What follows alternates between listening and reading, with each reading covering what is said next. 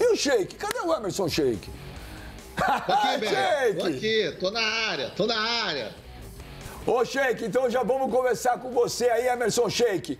Você gostou ontem da atuação do Corinthians? Gostou da estreia do Rojas? Rojas e Renato Augusto? Fala pra nós aí, Sheik. Boa tarde, Benjamin, ignorante, ídolo.